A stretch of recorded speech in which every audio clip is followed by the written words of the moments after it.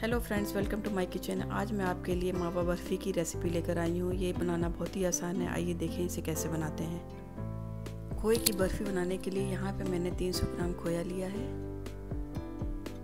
और इसको क्रैम्बल कर लेंगे या कद्दूकश कर लेंगे। इस तरह से छोटे छोटे से पीस में।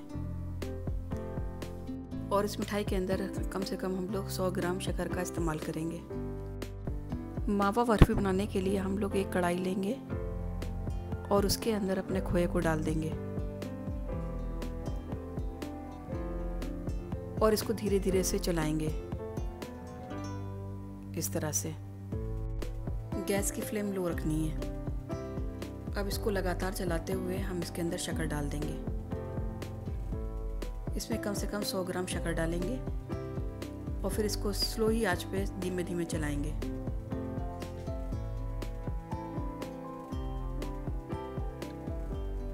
ये देखिए, कि हमारा खोया अब मेल्ट होना शुरू हो गया है। इसी तरह से इसको हम पकाते रहेंगे। खोए को लो फ्लेम पे ही भूनना है और बहुत ज़्यादा लाल नहीं करना है। बस एक हल्का सा गुलाबीपन आ जाए, तब तक ही इसको हमें भूनना है। ये देखिए, कलर चेंज हो गया है खोए का। अब बस हम अपनी फ्लेम को बंद कर देंगे। और खोए को दूसरी प्लेट में ट्रांसफ़र कर लेंगे। इस तरह से। अब एक डिश लेंगे और उसके अंदर एक परचमेंट पेपर लगा देंगे। और उसको हल्का सा ग्रीस कर लेंगे बटर से या देसी घी से। अब इसके अंदर जो हमारा खोया मापा तैयार किया था, उसको ट्रांसफ़र कर देंगे। इस तरह से। और हल्का हल्का सा प्रेस कर लेंगे। इस तरह से हल्के हाथों से हम प्रेस कर लेंगे और इसको सेट कर देंगे। ये देखिए।